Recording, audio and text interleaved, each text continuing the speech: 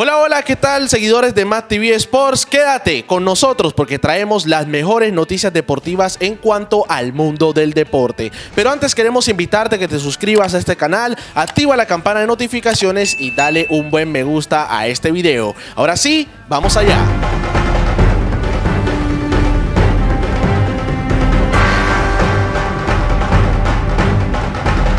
El día de ayer se hizo historia en Colombia y hay celebración absoluta. Caimanes ha sido campeona de la Serie del Caribe por primera vez en su historia, ganándole 4 por 1 a República Dominicana. Ahí tenemos al MVP Reinaldo Rodríguez, que no solamente se ha convertido en el MVP, sino es la primera vez que un colombiano tiene esta distinción. Así que enhorabuena para Colombia, que se está potenciando en este deporte y por supuesto celebración absoluta porque se lo merecen los muchachos. La lucha y lograron este título ante los grandes, los grandes de las grandes ligas. Luis Díaz finalmente ha aterrizado en Inglaterra. Su nuevo reto, la Premier League. Conquistarle, por supuesto, ganarse la confianza del director técnico Jürgen Klopp. La va a tener bastante complicada el Guájaro porque va a tener que competir ante Mohamed Salah y Sadio Mané, dos jugadores referentes importantes del Liverpool y por supuesto eh, también ganarse la confianza de la hinchada de los Reds. Ha sido un recibimiento bastante llamativo como pueden ver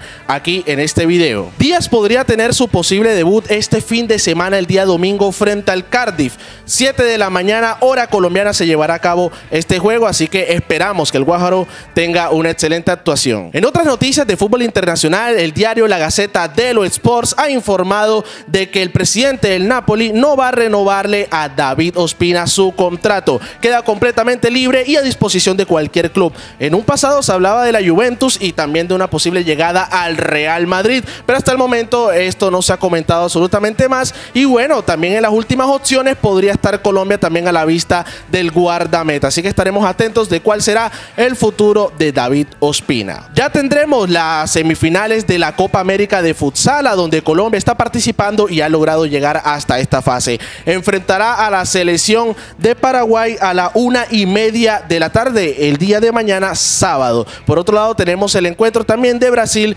versus Argentina. Bueno, y esto ha sido todo por hoy en cuanto a las noticias deportivas. Quédate con nosotros siempre conectado con Matt TV Sports, porque siempre te estaremos trayendo el mejor contenido para ti. Así que nos vemos en una próxima ocasión y chao, chao. show.